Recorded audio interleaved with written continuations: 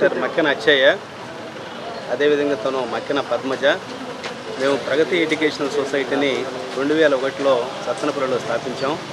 అప్పటి నుండి విద్యా వ్యవస్థలను నిర్వహిస్తూ ఉన్నాము. Pragati talent school Amaravati public school Pragati junior college అదేవిధంగా ప్రగతి బీజీ డిగ్రీ కాలేజీ చెప్పి నాలుగు సంవత్సరాలు నిర్వహిస్తున్నాం.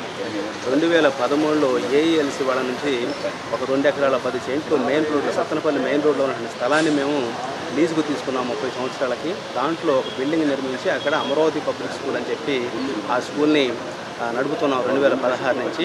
అయితే రెండు వేల పదిహేనులో మా సొసైటీలో సభ్యులుగా చేరినటువంటి సూర్యదేవర శ్రీనివాసరావు మొక్కపాటి చంద్రశేఖరరావు ఎన్నేడు కోటేశ్వరరావు ఇంకా వాళ్ళ యొక్క కుటుంబ సభ్యులు కొంతమంది మొదటి నుంచి కూడా చేరిన రోజు నుంచి కూడా డిస్ప్యూట్ చేస్తూ ఏదో రకంగా మా సొసైటీ ఆస్తులను ముఖ్యంగా ఆ స్థలాన్ని కబ్జా చేయాలని చెప్పి ఆ స్థలంలో వాళ్ళు ఏదో వ్యాపార సంస్థలు నిర్మించాలని చెప్పి ప్రయత్నం చేస్తున్నారు.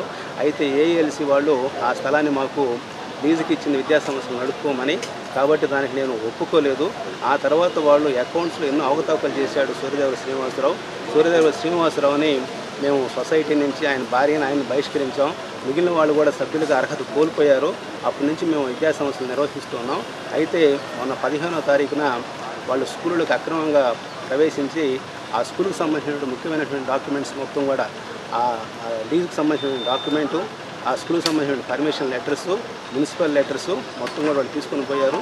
అక్కడ లోకల్గా సత్తనపల్లి టౌన్ పోలీస్ స్టేషన్లో తీసుకెట్టాము అదేవిధంగా పద్దెనిమిదో తారీఖున సుమారు పన్నెండున్నర వంటి గంట ఆ టైంలో దాదాపు ఒక అరవై డెబ్బై మంది సత్తనపల్లి గుంటూరు నుంచి రౌడీ మొగలు వచ్చేసి స్కూల్ మీద పడి మా బ్యానర్ల మొత్తాన్ని చించేసి విచక్షణారహితంగా రెండు ఫర్నిచర్ను కూడా ధ్వంసం చేసేసి నన్ను నా వైఫ్ అయినటువంటి సెక్రటరీ అండ్ కరస్పాండెంట్ అయినటువంటి మెక్కల పద్మజను మమ్మల్ని బెదిరించి చంపేస్తామని చెప్పి బెదిరించేసి అలసలు చేసేశారు.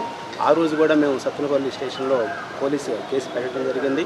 అయితే మా ప్రాణానికి మాత్రం భయంగా ఉంది. దేనికంటే వాళ్ళు వాళ్ళు తీసుకొచ్చినటువంటి మనుషులు వాళ్ళు చేస్తున్నటువంటి హడావుడు చూసినట్లయితే ఏ క్షణంలోనైనా మాకు ప్రమాదం తలపెట్టేటటువంటి అవకాశం ఉన్న ఉద్దేశంతో ఎస్పీ గారిని కలుద్దామని చెప్పి ఈరోజు వచ్చాము. దీని ప్రకారం పద్దెనిమిదో తారీఖు సాయంత్రం పద్దెనిమిదో తారీఖు సాయంత్రం ఏం చేశారంటే ఇక్కడ లా అండ్ ఆర్డర్ ప్రాబ్లం వస్తుంది.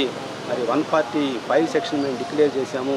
ఈ స్కూల్లో ఎవరు వద్దని చెప్పి ఆ స్కూల్ బిల్డింగ్కి తాళాలు వేసి ఆ తాళాలను కూడా పోలీసులు తమ దగ్గర ఉంచుకున్నారు దానివల్ల చాలా సమస్య వస్తుంది. సమస్య ఏంటంటే విద్యా సంవత్సరం మొదలు కాబోతుంది. ఆ మొదలయ్యేటటువంటి టైంలో తాళాలు వాళ్ళ దగ్గర ఉంటే అది స్కూళ్ళకు పోకుండా విద్యార్థులు రాకుండా ఉండే పరిస్థితి ఏర్పడుతుంది. అందుకని ఆ తాళాలను మాకు ఇప్పించవలసిందిగా ఎస్పీ గారిని కోరదామని చెప్పి ఇక్కడికి అదేవిధంగా ఈ గుంటూరు నుంచి వచ్చినటువంటి రౌడీ మొక్కలు ఈ సూర్యదేవర శ్రీనివాసరావు వెల్నేడు కోటేశ్వరరావు వీళ్ళకి సహకరిస్తున్నటువంటి అమెరికా నుంచి ఆపరేట్ చేస్తున్నారు మొక్కపాటి చంద్రశేఖరరావు. వాళ్ళు మరి మమ్మల్ని చంపాలనేటటువంటి ఆలోచనతో ఉన్నారు. మమ్మల్ని చంపినట్లయితే ఆస్తి మొత్తం వాళ్ళకు వస్తుందని ఆస్తులు వాళ్ళు వ్యాపార సముదాయాన్ని నిర్మించుకోవాలని చెప్పి ఆలోచన చేస్తున్నారు. వాస్తవానికి అది సొసైటీ ప్రాపర్టీ ఆ సొసైటీకి ఒక ఎగ్జిక్యూటివ్ కమిటీ ఉంటుంది. ఆ ఎగ్జిక్యూటివ్ కమిటీ ఎవరైతే ఉన్నారో వాళ్ళు మాత్రమే ఆ సంస్థలు నిర్వహించాలి. ఎవరు పడితే వాళ్ళు ఆ స్కూల్లో కూర్చోడానికి అవకాశం ఉండదు. ఆ విషయం ఎన్నిసార్లు చెప్పినా కూడా వాళ్ళకి అర్థం కావటం లేదు. దానితో ప్రతిసారి స్కూల్ మీదకి రావటం స్కూల్ మీద దాడి చేయటం ఈ రకమైనటువంటి పరిస్థితులను వాళ్ళు సృష్టిస్తూ ఉన్నారు. మరి వాటి నుండి ఆ స్కూల్ని ఆ స్కూల్లో చదువుతున్న విద్యార్థులకి మేలు సరగాలన్నా ఆ స్కూల్ కాపాడబడాలన్నా కూడా ఆ సూర్యదేవర శ్రీనివాసరావు వెల్లినేడు కోటేశ్వరరావు మొక్కపాటి చంద్రశేఖరరావు వాళ్ళని మరి వాళ్ళని విచారించి వాళ్ళు తీసుకొచ్చినటువంటి రౌడీలను విచారించి మరి వాళ్ళ మీద చర్యలు తీసుకుంటే తప్ప ఆ స్కూల్కి కానీ ఆ స్కూల్ చదివిన విద్యార్థులు కానీ మేలు జరగదని చెప్పి ఈ సందర్భంగా మేము ఆశిస్తూ ఉన్నాం. మరి ఆ స్కూలు స్థలం స్కూలు స్థలం రెండు ఎకరాల పది సెంట్లు కూడా మక్కిన పద్మజ. అంటే తన వైపు రిజిస్టర్ కాబడింది. సొసైటీని మేము స్థాపించాం రెండు వేల ఒకటిలో మేము అవస్థాపక సభ్యులు. మొదటి నుంచి కూడా మేము ఉన్నాం. తర్వాత అక్కడ బిల్డింగ్ నిర్మించడం జరిగింది. స్కూల్ని మేము ప్రమోట్ చేయడం జరిగింది. మరి పాత స్కూల్ నుంచి కొత్త స్కూల్కి కొంతమంది విద్యార్థులు వెళ్ళటం ఇంకా పేరెంట్స్లోకి పోయి ఎక్కువ మంది విద్యార్థులని చేర్చుకొని దాన్ని నిర్వహిస్తూ ఉన్నాం.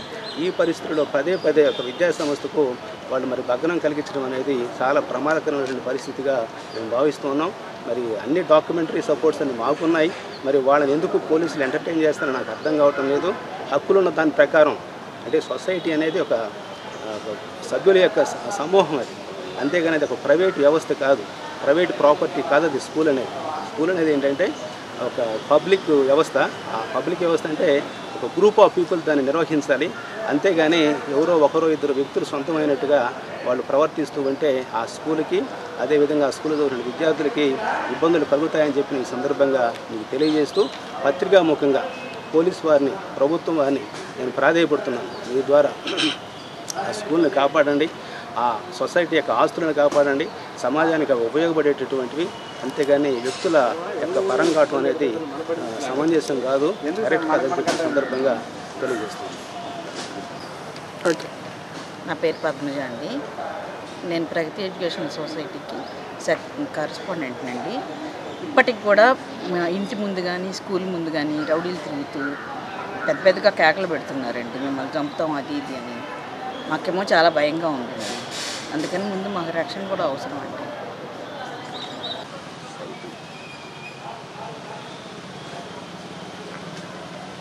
రెండవది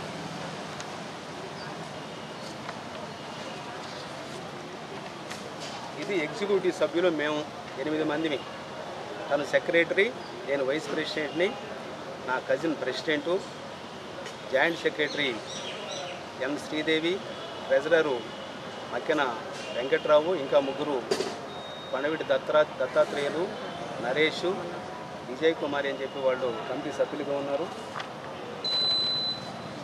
ఆ కమిటీ సభ్యులను అప్రూవ్ చేస్తూ జిల్లా రిజిస్టర్ ఇచ్చినటువంటి లెటరు. ఈ లెటర్ ప్రకారం ఎనిమిది మంది సభ్యులు ఎనిమిది మంది సభ్యులు ఉన్నారు. అదేవిధంగా హైకోర్టులో వాళ్ళు ఏదో మేము సెక్రటరీమి అని చెప్పుకుంటున్నారు. ఆ సెక్రటరీ అని చెప్పుకునే దాన్ని మేము హైకోర్టులో ఛాలెంజ్ చేసాం హైకోర్టులో ఛాలెంజ్ చేస్తే చీఫ్ జస్టిస్ ఇచ్చినటువంటి ఆర్డర్ ఫైనల్ ఆర్డర్.